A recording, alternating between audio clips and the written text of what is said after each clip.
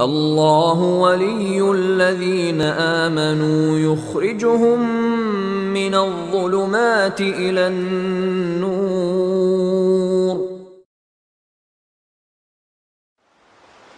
الله أكبر الله أكبر.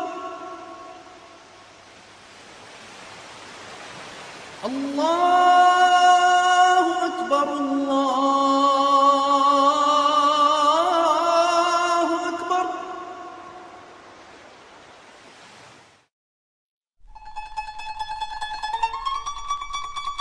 بسم الله الرحمن الرحيم الحمد لله رب العالمين والصلاة والسلام على أشرف المرسلين سيدنا محمد وعلى آله وصحبه أجمعين وأشهد أن لا إله إلا الله وأشهد أن محمدا عبده ورسوله My Dear brothers and sisters, if you were to ask yourself, or if I were to ask you, describe the month of Ramadan with only one word. If I were to ask you to say one word that describes the month of Ramadan, what would come to your mind? So, when I asked some of the youth about this uh, question or about this one word that could describe the month of Ramadan, I had many different uh, interesting answers. So, some people said that the month of Ramadan, or the first thing that comes to their mind, is fasting, obviously, or we agreed to call it abstinence, you know, in terms of food and drink, not the other kind of uh, abstinence. So, f- food and drink, that's the first thing that came to some of people's minds. Some other people thought of Al Quran, and indeed, the whole month of Ramadan has been made special because the Quran was revealed in it. شهر رمضان الذي أنزل فيه القرآن in ليلة القدر, the month of Ramadan in which the Quran was revealed. And because of the revelation of the Quran, the whole month was made special. So, yes, it's the month of Quran. Some people actually said that the month of Ramadan is all about change, where people actually change their behaviors, where people change their habits, and so on. Some people said or described the month of Ramadan as being the month of victory. And this is what I would like to share with you in the coming few minutes. Indeed, the month of Ramadan is a month of victory. And if you look through the history of Islam and Muslims, you will be surprised to know that uh, a lot of the very important, significant victories in the history of Islam were achieved in the month of Ramadan. For example, as you probably know, the Battle of Badr happened in the month of Ramadan. The Battle of Fath Mecca, the conquest of Mecca, was in the month of Ramadan. Al Qadisiyah was in the month of Ramadan. Ain Jalut was in the month of Ramadan. In Al Andalus, several incidents happened in the month of Ramadan. Even our recent times, in the October 6, 6 October in Egypt, it was done in the month of Ramadan. So the month of Ramadan is the month of victories. It is not, as some people think, it is not the month where you have an excuse of being weak, out of strength, out of energy because you're not eating. It is not time for people to sleep more and to rest more and just sit at home because they're weak, because they're physically weak. The month of Ramadan is the month of victories, the month of achievements.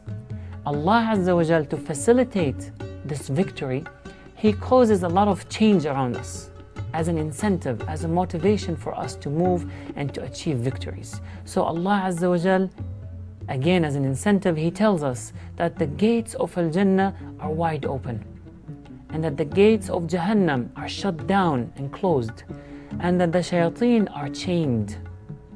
And then Allah Azza wa Jal gives us the incentive and He says that your deeds are multiplied in the month of Ramadan.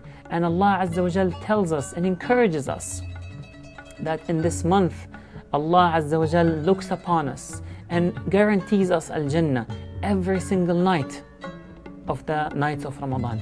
So He gives us all of these encouragements and incentives in the month of Ramadan so that we can go out and achieve victories.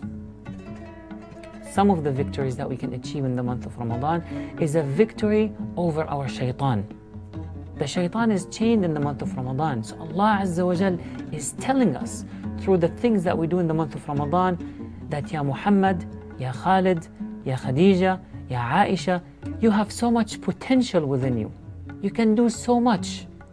When you think that you cannot pray the five times a day, Allah Azza wa Jal tells us in the month of Ramadan, you can pray that times 10 in the Taraweeh and the Qiyam. You think that reading Quran is so hard and so tough? Well, you can do it. And you do it in the month of Ramadan. You read so much Quran. You think you cannot live without that, without that can of soda or without that bottle of water. You can do it. You can live without the snack. You can live without the junk food. You can live without three meals a day. You have the potential. And Allah Azza wa Jal forces us to realize and see that potential within us. So it's a victory over the shaitan. It's a victory over ourselves. We, we gain control back over ourselves. It's a victory of our soul over the body. We don't live in a struggle between the soul and the body. The soul and the body work together so that we would go and end up in Al Jannah. But it's, it's not acceptable for the body to take over and for the soul to be neglected. We cannot continue to take care of our bodies through working out and exercising and eating and dressing well. This is all taking care of the body. We cannot ignore our soul. The month of Ramadan is a month of victory of our soul over our bodies.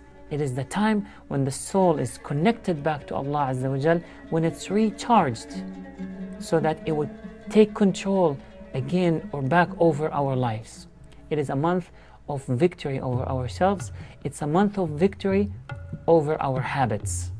A lot of us are locked and chained and caged into these habits that we think that it's impossible to change.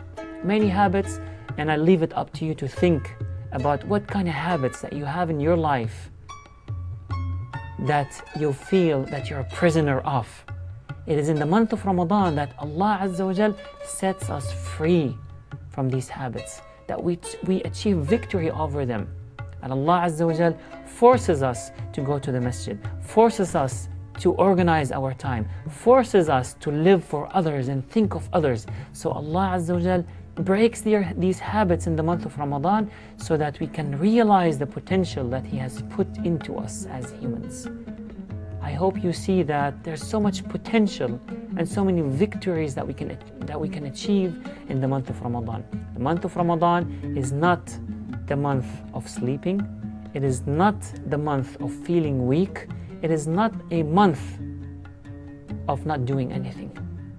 It is a month of achievements. It's a month of victories. It is the month that we recharge, connect back with Allah Azza wa Jal, and get closer and closer and closer to our final destination, Al Jannah. I ask Allah Azza wa Jal to make us among those victorious at all times in all levels. I ask Allah Azza wa Jal that we will, inshallah, gather in the day of judgment and talk and share the experiences and the victories that we, had, we have achieved together in this dunya. اللهم اغفر وارحم وتجاوز عما تعلم إنك أنت الأعز الأكرم وآخر دعوانا أن الحمد لله رب العالمين وصل اللهم وسلم وبارك على سيدنا محمد والسلام عليكم ورحمة الله وبركاته